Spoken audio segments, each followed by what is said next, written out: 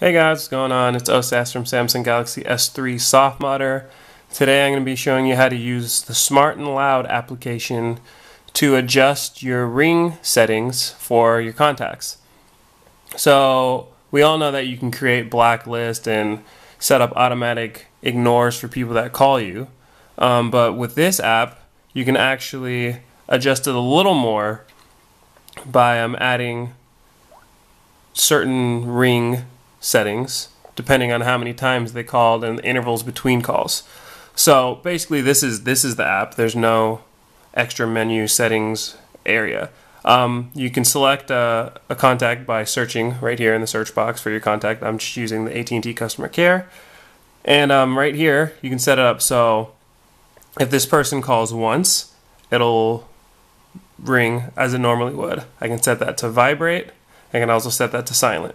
Now, if this person calls twice or three times, I can set up the intervals between calls.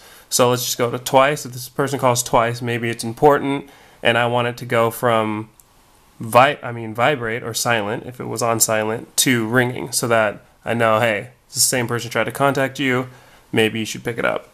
And I can change the interval. You can also just select there between the calls. So if they call twice within five minutes, or 10 minutes, it'll ring. And that's really it. Um, obviously, if you just do one, you won't have that option. And if you do one and then you hit silent, that means anytime this person calls, your phone will not ring. So that's pretty much a nice, a nicer, easier way of just silencing a contact or blocking a contact from calling you without going through and editing the contact list and then adding them to the, the blacklist. Um, here, by default, it's set to auto activate on silent and vibrate. You probably want to leave that on because if you have your ringer on, then you obviously you just want to be informed when somebody calls you.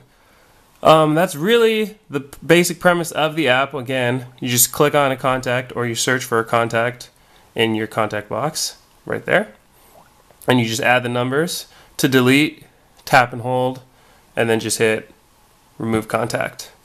So again, smart and loud.